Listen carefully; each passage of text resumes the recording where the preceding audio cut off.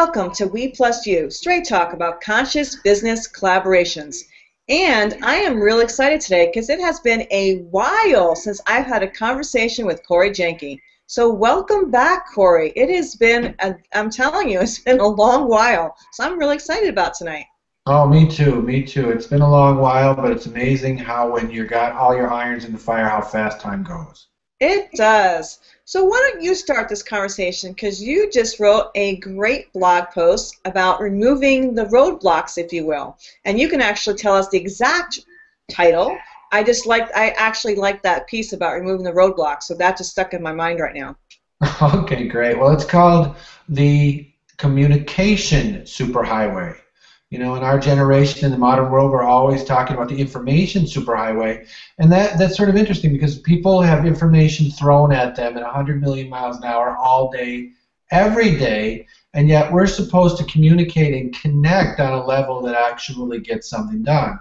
And so what happened that precipitated this post is I was working in the middle of the pharmacy, and it's kind of funny because, you know, I'm doing my thing at the pharmacist, checking and, and counting and, and working on the computer, but simultaneously I hear all these conversations going on.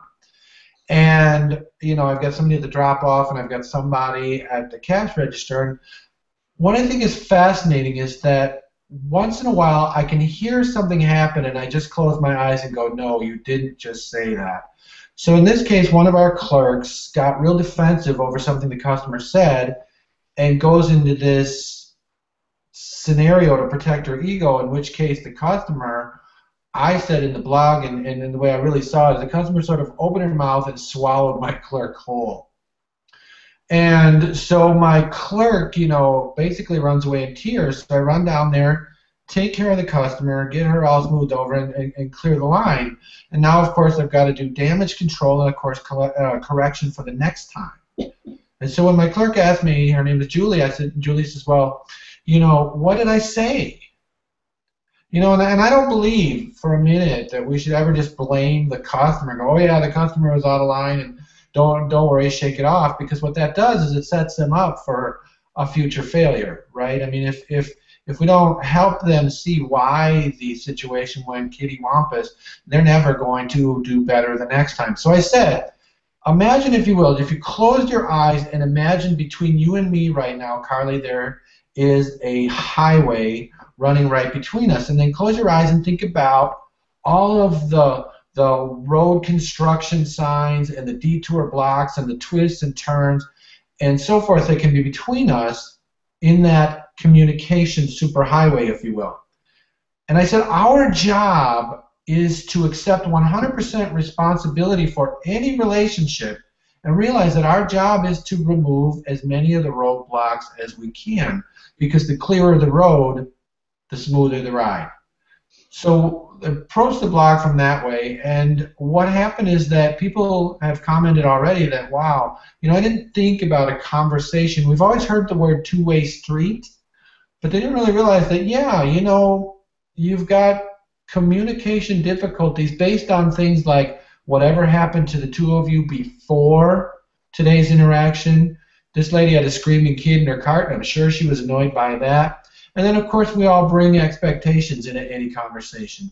So it really sets us up to either fail miserably or succeed wonderfully if we become experts on clearing our own communication superhighway, if you will. What do you think about stuff like that? Exactly. So that's why for me what stood out was clearing the roadblocks. And we forget that we all have stuff when we come to the table. And everybody, I don't care who it is, when we come to the customer to customer service counter, if you will, we, like you said, she had the baby screaming in the cart, and God knows what she was going for. Even before that, what did she wake up with? When she woke up and put her foot on the floor, was she in a happy mood? Was she in a sad mood? You know, what what was on her table? I mean, what was literally what did she have for breakfast? Did she have a fight with her husband? You know, did she have enough money for that week? You know, we don't even know what her circumstances are. Is she, you know, is she on SSI? Is she on SSD? Is she on welfare? We have no idea what that woman is actually going through, and we don't consider when we meet people what their circumstances are. And we need to remember that no matter who we're meeting, that no matter what their circumstances are, we need to understand that we need to think of walking in a mile in somebody else's shoes. So we don't need to jump on someone right away. Just literally step back and realize that we have no idea what was going through their mind in that moment before they approached us. Is it right that they screamed at screamed at us? Not necessarily. However, is it right for us to scream back at them? Not necessarily. So we need to actually just step back and just listen to them.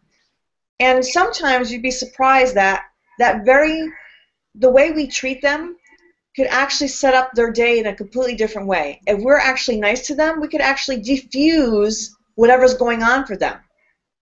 Our smile, when we if they're in a really irate mood, just us smiling at them could actually diffuse it a little bit. How we actually speak back to them, our tone could diffuse it a little bit for them. And you know, we've had many conversations about body language, tonality, all these things make a huge difference. Oh, I agree. And, and I think oftentimes people are walking around expecting a fight or expecting difficulty.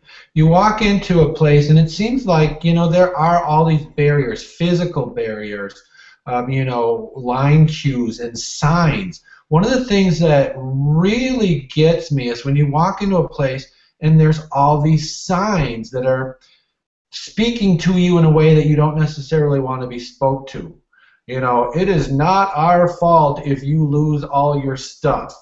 It is not our fault if this. You have to sign off on that. Well, look what I had to check a box that says basically I won't sue Google if something happens when they record me just to get on this program.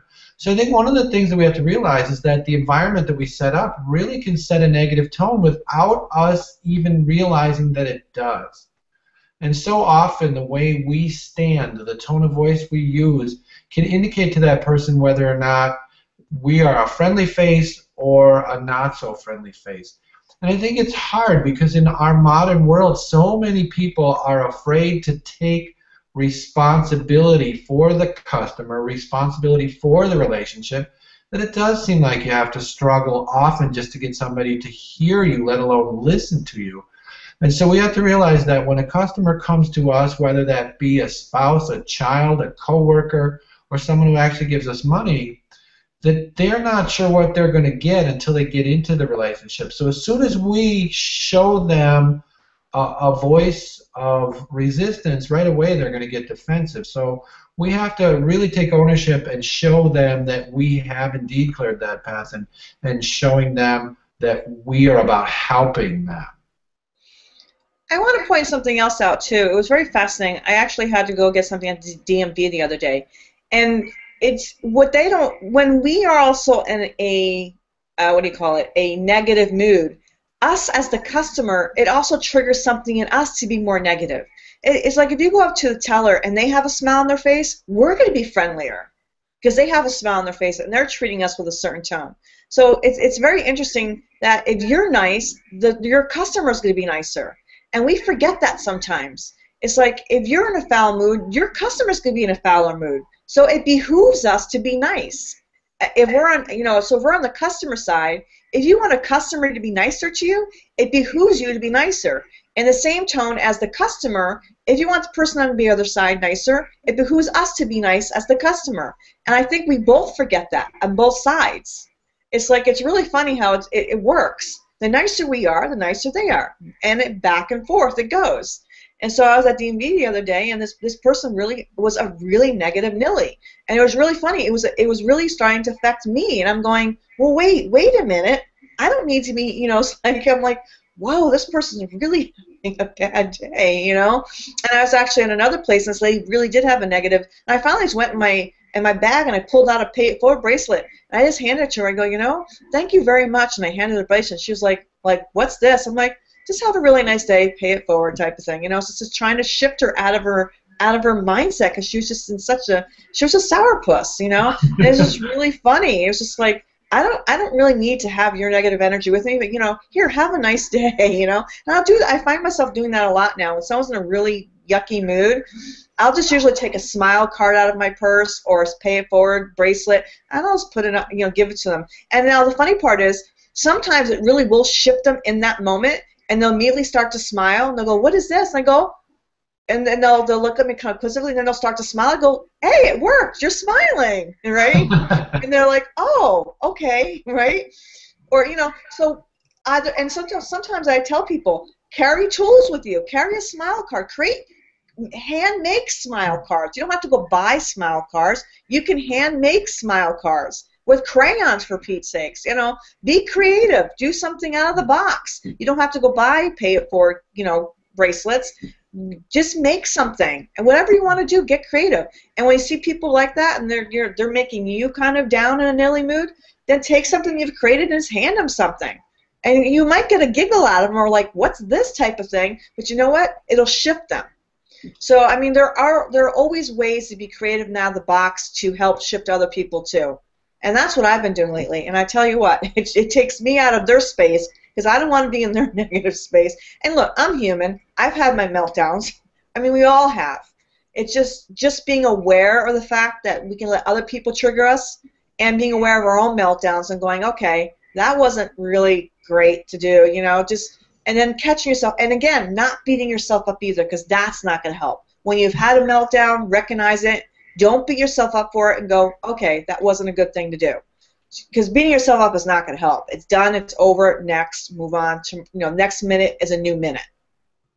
Well, you know, that's very well said. There's a couple of, in, of thoughts that I, that I have. You know, I just recently reread the uh, Seven Habits of Highly Effective People, and what I find fascinating is that every time you read a book, you're in a different spot when you read it.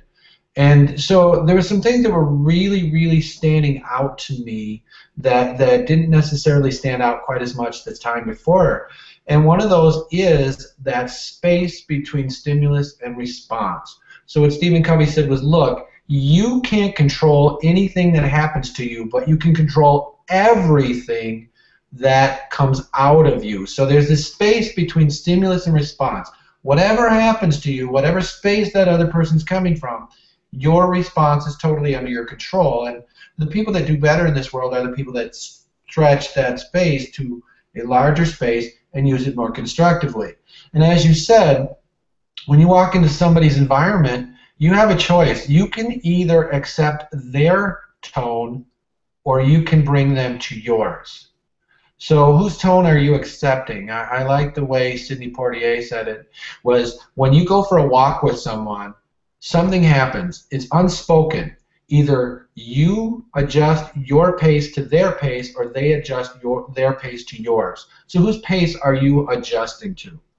The other thing in the book that I thought was interesting is the whole concept of seeking first to understand and then to be understood. And one of the things that happens is that most of us listen with the intent to reply rather than with the intent to understand. And I think the reason that that happens is our own ego is just pulsating. It just wants out so bad.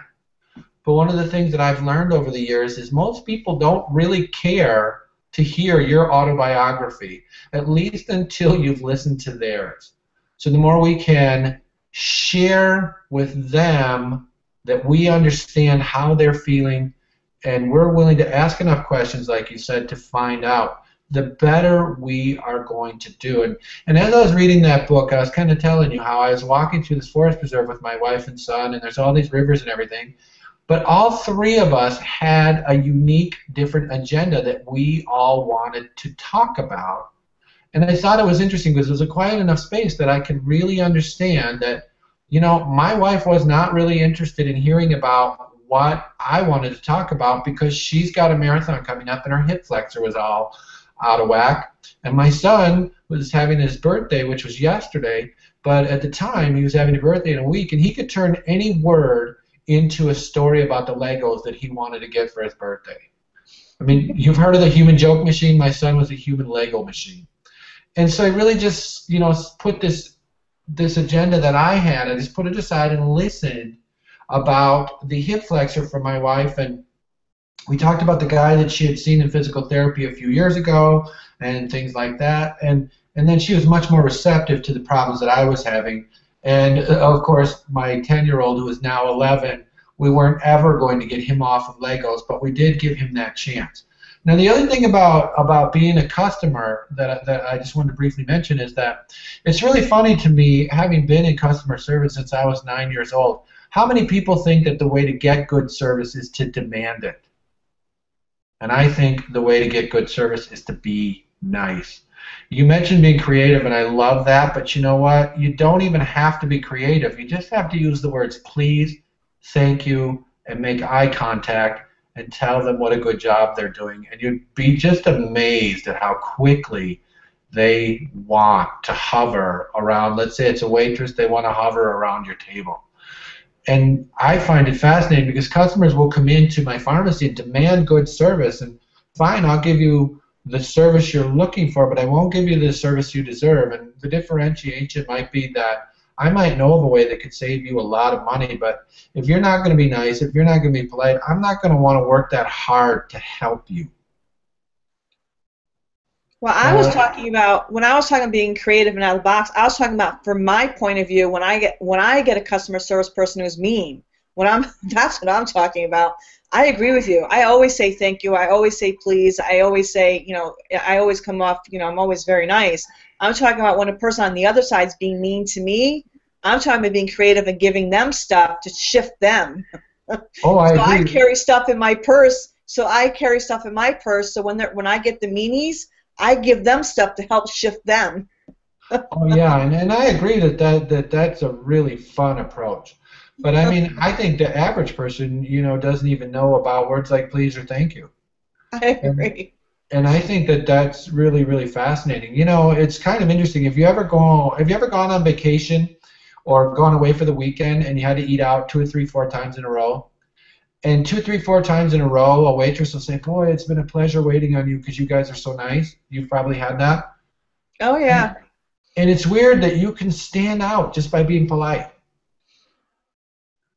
And that's when I that's when I'll leave the smile cards with the tip. I love leaving those smile cards and saying thank you so much because you've been really wonderful. It's just it's amazing. Um, yeah, it it truly is. I love doing things like that for people that are amazing. You know what's fascinating is if you ask to talk to a manager at a place, the manager always walks up and they're like, "Oh God, what now?" And then you say, "You know, I just really wanted to tell you that Carly was my waitress and she was just awesome." And they're like, they're like this so it so happens so infrequently that just compliments are, are rare. And, th- and that's something for us as leaders to understand that when you are dealing with people who work for you or that you're trying to inspire or motivate, they're a little bit beaten around the edges. They're a little bit uh, dinged up. And as Les Brown talks about, he said that he read a poem by Maya Angelou that said that most people get banged up, and then they pull off the highway of life and park. I mean, That's why I love Foursquare now. That's what I've been really doing on Foursquare now. You know, Foursquare, the app where you check in where you're at. I've been really conscientious about leaving good tips about employees. Mm-hmm. So I've been, if I've been at a store where they've had I've had really good customer service, I'll actually write something and tweet it out. And I've actually gotten tweets back from the companies now saying, "Thank you so much for letting us know about this employee at, at this particular store. And they've actually tweeted me back and saying, what store, at what location did you go to? Oh, how cool. So I've really been using the app now when I've gone to different locations. Like I've actually got tweets back from Bed Bath and Bad Bath and Beyond now saying to me, "What location did you go to?" Because I go to Thousand Oaks all the time in California, and I go to this one particular store because the customer service there is so it's just really amazing. And there's certain stores now that I go to because the customer service is really good, and they always tweet me back, and they're saying thank you so much for checking in again, because you know it's like they actually have they actually now have social media people checking for people complaining, because people now in Foursquare when there is bad customer service, they'll tweet I've had really bad customer service at this place, and so now they have whole departments. That's all they're doing is checking for tweets for bad customer service. Well, like at the same time, you can now put in there I've had really good good waitress service, really good food. So you can check where where you know really good food is. They have really good whatever burritos, whatever it is. So I'm really conscientious now of saying, hey, this person's got they got really good waitresses here. They have really good food here, and I really love it because you can now really check to see where you have really good customer service. Well, you know, and, and that's something too that you know when you think in terms of the opportunity that that gives us now as business people, in that when you're able to just wow a customer with service, you have the ability to have somebody like yourself advertise for you. And, and you know, it, it's, it's fascinating because it's easier now to stand out than it ever has been before. And so when you're a customer service person, if you realize that, you know, the whole world literally is watching because of apps like Foursquare, and I know there's a, a bunch of others, you have the ability to stand out in front of the whole world. Isn't that exciting? It is. And that's the thing, and that's why I don't think people realize the value of social media. I mean, social media is an amazing tool for things like that. I mean, you know, with with the iPhones and other phones now, where you can just actually say, you know, uh, I'm looking for this, and it'll actually then put up a map and tell you exactly where it is, and then it'll ask you, you know, it'll give you even directions as to where you want to go. I mean, social media and the, with the new technology of, of phones, you can find anything, whatever type of food you want. You can find anything you need and want now. You can find. I mean, it's just brilliant. And so I just think people undervalue how social media can help your business. I mean, and, it, and it's just fabulous, and especially Twitter now too, because Twitter, in the moment, you can just tweet out, "Hey, this is amazing. Go here." And, so you know, Facebook has its own you, there's different tools for different things. You know, Facebook is more of an interactive social family, if you will, in a lot of ways. But Twitter is where you, where is where you really do tweet things in the moment, just for specific things. This is very it, they're apples and oranges, Twitter and Facebook, and Google's a whole other animal too. But anyways, I mean, I think everybody needs to understand how valuable social media is for getting your blog post get for anything, for getting your blog post out, for getting tips and tools out, for getting again your business out, getting clients. I've you know I've gotten so many clients through social media. Referrals, referrals. You can get so many referrals through social media. I mean, I met you through social media. I mean, social media is such a valuable tool these days. Oh, for sure. But one of the things we have to really keep in mind as business people is that I imagine the same rules as apply to face-to-face communication such that each person who is really really happy with your business is likely to tell four people but each person who's really really unhappy with your business is likely to tell 12 so if you get, somebody, you get somebody really fired up on social media against you you have really really hurt your chances to succeed in business so i think that that we have to be even that much more aware that we have to keep that, that information communication superhighway running smoothly because people will be more than happy to share all of the roadblocks and detours that we threw up. Absolutely. and, you know, and, and like anything, know, I mean, there's always going to be, I don't care where you go, who you are, you can be the most amazing human being, and there is always going to be people that are going to attempt to tear you down and, and you know those are the types of things you just have to go with the flow on. It, it is social media, like anything. There's always going to be people out there that are riffraff, and that's just the way it is. And you know, you can't you you can't be fighting everything. I mean, that's just life. You know what I mean? You, you could be. It's it's kind of like the old saying, fighting the current. I don't choose to fight the current. I choose to go with the current. I mean, you know that that that's life. There's always going to be something out there.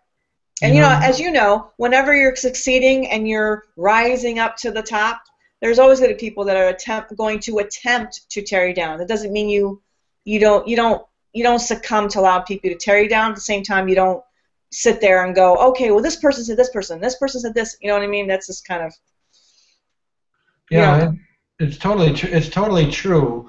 But one of the things that I think is interesting is that people are so defensive now that oftentimes the biggest problem that I have in training customer service people is to put their ego away.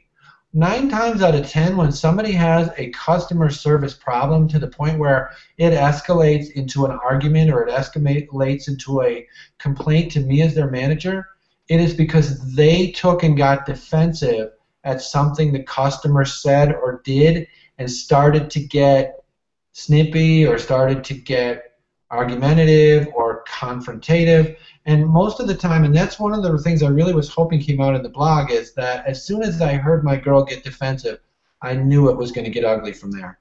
And and so I think that one of the things we have to realize is that you said it already. We don't even know where they've come from. We don't even know what's going on in their lives.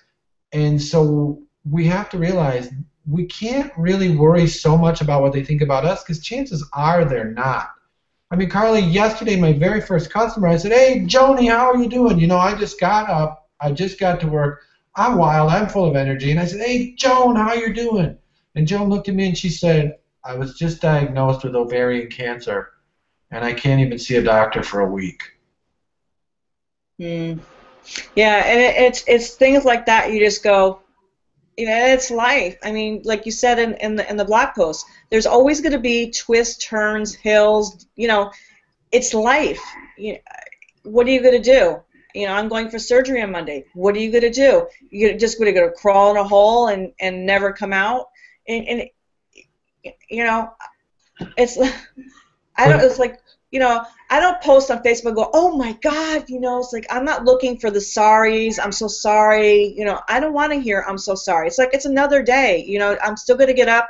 I'm I'm actually still coaching clients a week. When I get home from surgery, next week i'm still coaching my clients verbally i'm not doing a lot of my other stuff however i'm still doing all my my my actually my verbal coaching clients. You know, I'm not doing my consulting where I'm leaving the house, but I'm still going to be doing what you and I are doing. I'll still be doing some Google converse, you know, conversations. I'll still be doing coaching conversations on the uh, via Skype or with my cell phone. But you know, it's like you don't you don't crawl in a hole and just well, I mean, you have the choice to do that. I, this one of the things I actually love is one of the phrases I actually love is victim or victor. I choose victor. You know what I'm saying? I, oh, sure. To be a victim and wallow in things and just wallow, wallow, wallow and, and play that, I, I don't understand that. Life is always going to throw you a curveball, and you have the choice to succumb to something or not. And I'm and I'm sure you know she was sad, and I'm sure and I'm sure she's a really strong person. She'll do what she has to do, and it, it does it does unfortunately with the medical community and the medical systems, it really it really does bite, unfortunately, I'm going to use that word, when you have to wait a week to see a doctor when you get hit with something like that. It's like, oh, by the way, you have this. Uh, sorry, you can't see anyone for a week. That type of thing is really, really hard. And you have to sit on it. You know, it's kind of like, uh, and that's where a support system comes in hand. Having someone that you can talk to, rallying the friends around, rallying the troops around. You know, who, who do you have to surround yourself with? Friends, family, you know, you, I'm sure, was was willing to listen. I know you. I know you didn't just go uh, next. I know you sat there and listened to her, and well, I know, you, know, you gave her a nice pep talk too. Well, you know, one of the things that that that I did is, of course, I changed gears because where I was where I was really going with that is that I didn't even see that coming, and so you're making assumptions and you have no clue as to what's going on. But I did write a post um, about cancer about a week and a half ago, and so I reposted it again today in her honor. Um, but what I told her is very simply this: there's three things that you can do when you have a really big wallow in your life, and the first of which is that you can determine that you are going to fight like hell. And it's so important that you do that because you don't want your family members standing around going, oh, what if mom would have just tried? What if mom wouldn't have just given up? What if mom would have really went for it? The second thing you do, and you mentioned it, is that you need to rally the troops around you. You need to lead your friends. Because the thing is that a lot of times when people don't know what to do, they opt to do nothing. So when people don't know what to do about a diagnosis that you have or a major setback that you have, a lot of times they just won't do anything. And so a lot of people interpret that as no one cares and they give up. So I told her, and I tell all of my customers this, is to go ahead and rally your friends, lead them into just what you said, hey, life's going to go on. I'm going to be okay, but I need your help right now. And the third thing is you look at the opportunity you've been given. The most incredible learning experience I ever had 20 years ago when I was first working in community pharmacy, one of my customers had ALS. His name was Vernon, and I'll never forget it. He got Lou Gehrig's disease, and he chose to alienate every single person that he knew to the point where his wife looked at me, and I'll never forget it as long as I live, and she said, Corey, he said to me, Why can't this be you instead of me? Oh so oh my God. Yeah, he was given this opportunity to mend all of his fences, to connect with all of the people that you know whose connections were frayed, and he chose to be so angry with God that essentially his family was happy when he was finally gone. So one of the things that we need to do is embrace those opportunities that life says, "Hey, guess what? You forgot to be thankful for what you had when you had it. Now you've got a chance. What are you going to do with that chance?" I said, nothing's changed at all, Joni. I said, nothing's changed. Nothing's any different than it was yesterday. You've always known the end is coming, but now it's a little larger. So what are you going to do? And I told her, you know, this week what you need to do is get your friends around you, do something that you really enjoy, but God, for whatever it's worth, do not wallow in self pity because then that makes you feel like a victim. And if you turn into a victim to cancer, you will be done. And I think that cancer is big in our, our society, but it's not the only setback that we can have. I, but I do think that it's symbolic of the mindset that we need to have, and that we're going to fight, we're going to lead our friends, and we're going to take the opportunity to enjoy the people in our lives while we have them. I knew I knew Corey would give her an amazing pep talk. Well, that's that's something that you know I I want to make clear is that the reason that I'm able to do that is because I've learned over the last 25 years working with the public from people who've taught me. As I said, the customer who probably taught me the most was the guy that took the opportunity to alienate everybody he, he knew because he was angry. Well, I I can I can attest to that. I mean, I you know, as you know, I've had a, a Yes, there was a time when I was very angry when I was going through all my different procedures, and I, I did the same thing. I alienated, and it, you know, you can only alienate for so long, and you can only play the angry person for so long, and eventually you realize really quick if you have two choices, and you know, and being being the person that where you just alienate and you wallow in it. You know, you just become a very angry, isolated, um, and you actually just get sicker. And eventually, when you go, when you, you know, as you know, you, doing the same thing over and over again uh, is, to me anyway, is the definition of insanity. And when you get, when you actually get so sick of, sick and tired of being sick and tired of, you know, it, you know, you will eventually really choose and it wasn't until I actually, you know, really did seriously make the choice to live, literally live, did I did I finally really change, and and it was it was a tough road, and it, and I had to make that choice, and it really does boil down to that. When people have cancer, any sort of terminal illness, or or any sort of chronic recurrent illness, it really boils down to one day choosing to live or die. That's really what it boils down to because eventually when you when you have something that's really tough like cancer or anything that's really bad you just you're so tired and you're so you know so much pain and blah blah blah. You know you you just want to give up. You just want to go please just take me. And eventually you're going to have to make a choice. You're going to have to want to choose life or not. And it, it really boils down to that. And when you finally choose one or the other then you're going to choose to either you know rise above it and choose a positive attitude and choose to be something different. And when you well, make you that know, choice, life changes. I don't know that, that you and I have ever talked about this, but the reason that I became public with book writing and blog writing and personal development and so forth is that there was a few time in my life a few years ago when I was extremely anxious and I was extremely stressed out because I had told myself this story about what a tough life I had. I had a life that most people would kill for and I, I, I felt that I was beaten up. I felt like I was stressed out, and, and, and I just really didn't want to live anymore. I didn't want to go out and kill myself. I just didn't want to live anymore. And all of a sudden, I, I became the luckiest person in the history of the world because all of a sudden the thought popped into my head, hey, do you really want your eight-year-old to grow up without a father? And it was weird because I, I came home that night and I checked my computer and there was an email from my friend who I had emailed him and I said, What if I lost everything? You know, I was so anxious that I was afraid of losing everything. I said, What if I lost everything? And he said, You can't lose everything because you'll always have me.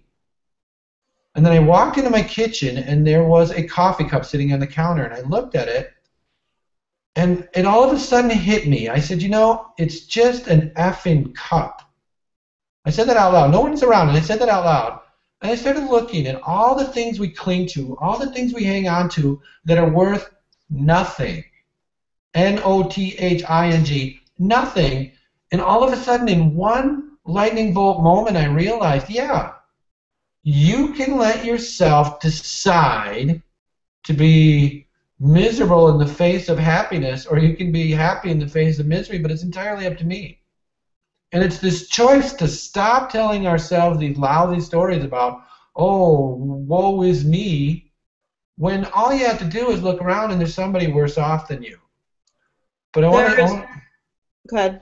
I just wanted to share something that, that happened to me one, one night. Tanya used to take me to a lot of these uh, church home groups, you know, where, like, say, three, four couples get together and they discuss the Bible and so forth. And it was really funny one night because there's always somebody who wants to take every Bible verse and turn it into a story about them. Well, this one night there was this woman who I'd never seen before, and she kept doing that, and I was getting so annoyed. And and she just kept taking the story back to her, and then all of a sudden, the topic of like cancer or serious illness came up, and she said the most brilliant thing I'd ever heard any person say. She said, People are always saying, Why me? Why me? And you know what? Why not you? What is it that makes you exempt from the hardships of life? What is it that thinks that that makes you think that God's going to give you a free pass? And I was like, wow. I never saw that coming, and I never saw it coming out of her. So if you realize how many times that we could just choose to be happier than we are, we could be so happy if we just choose to be in the moment realizing the gifts that we've been given because we've all been given them it's just that oftentimes we tell our stories about how we've been given less than other people and so forth. Absolutely agree. And as usual, you and I could talk forever and ever and ever. And I just want everyone to know there is always someone somewhere who has it worse than you do. So for tonight, Corey and I are going to have to leave everybody because Corey and I literally could talk forever. And it has been a long time since Corey and I have done a podcast and video together. So it is going to be t- tonight. It's going to be good night. However, we will be seeing you again. And um, I just, I'm just really happy. I'm just really, I mean, it's been so long, Corey. So it's just been really brilliant tonight, and I really look forward to having another brilliant conversation with you sooner than later this time. so, anyways, thank you so much for joining me. And I just love bringing you valuable content, everybody. So thank you so much for listening in and tuning in. And I wish everyone a wonderful night. And so I look forward to seeing you guys soon. Have a great night, everybody. And uh, Corey, please let everyone know where they can reach you because it is a podcast, not just a video. Well, well right now the best place to reach me is at www.simplymonkeys.com. S I M P L Y M O N K E Y S dot com. And you've been with your host, Carly Alyssa Thorne, and you can reach me at carlyalyssathorne.com. And as usual, I put together a page that's got the embedded podcast and embedded video, and they'll have links to everything you could possibly imagine that you can find Corey and me. So have a great night, everyone.